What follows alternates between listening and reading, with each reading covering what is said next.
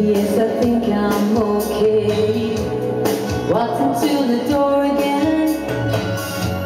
And if you ask, that's what I'll say. It's not your business.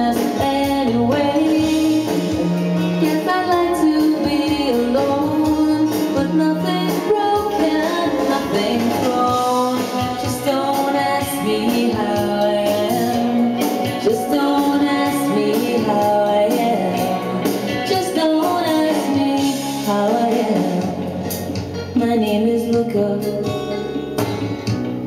I live on the second floor. I live upstairs from you. Yes, I think you've seen me before.